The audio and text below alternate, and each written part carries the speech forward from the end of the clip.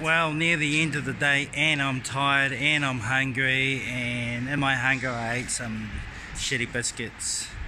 But behind us is a light steel prefabricated house kit set delivered in pieces, two 40 foot containers, approximately six weeks construction build in New Zealand, Australia, or wherever your location is. So it's a two level house. Everything you see is supplied and compliance into Australia and New Zealand standards.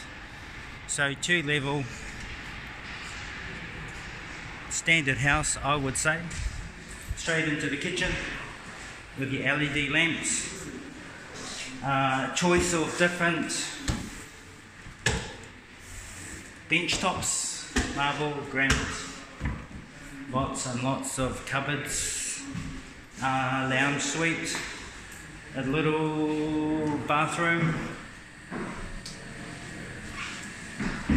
with your fans, I can hear them in the background. Uh, small lounge suite, opening glass. Uh, Kiwis like the sunlight, and we're heading upstairs uh, into a. This is a one bedroom, I would say. Uh, you can get it reconfigured.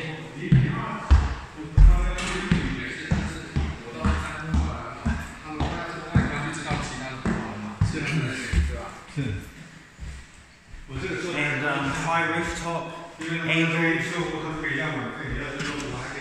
great views into a factory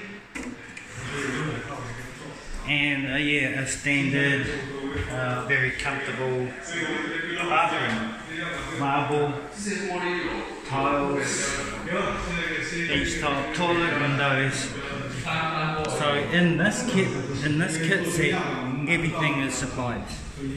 Everything. I mean everything from wiring to lighting.